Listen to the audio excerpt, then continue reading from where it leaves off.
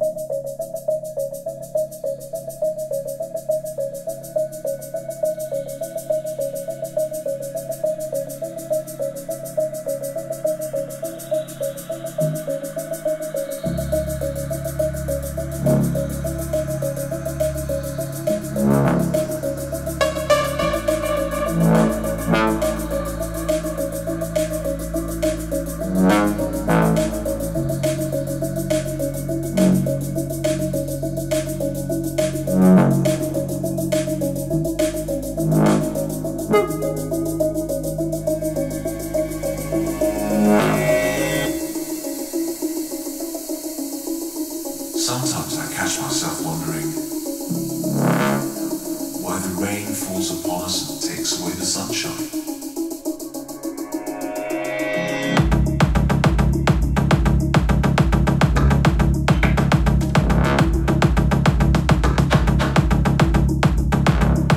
All right, now I'm going to turn off the internal active electromagnetic cells in the Voodoo Streamer server, and they're filtering out high frequency noise, which is a byproduct of the CPU, RAM chips, and other integrated circuits that go up making this computer.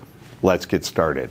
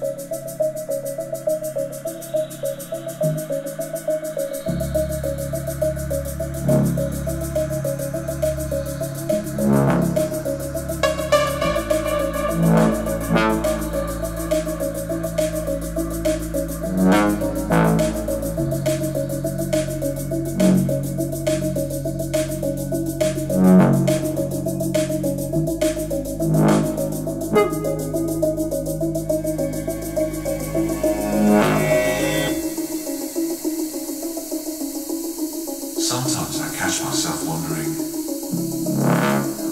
why the rain falls upon us and takes away the sunshine.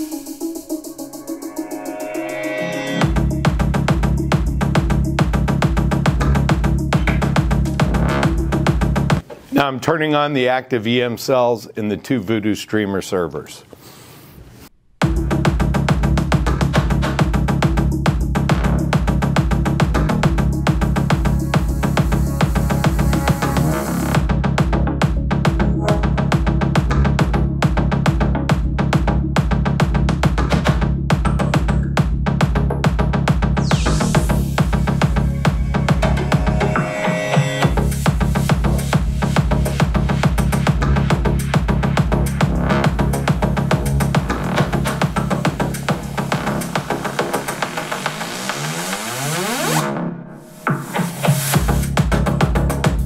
I'm going to again turn off the active EM cells and the Voodoo Streamer servers.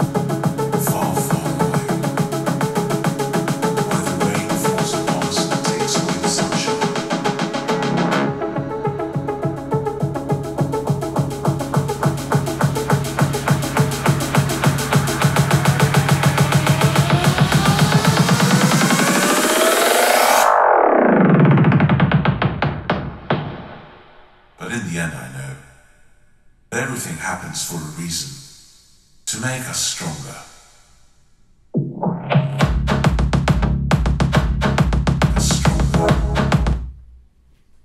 About five years ago, we started to look at other aspects of the digital playback chain that were being taken for granted and not really explored.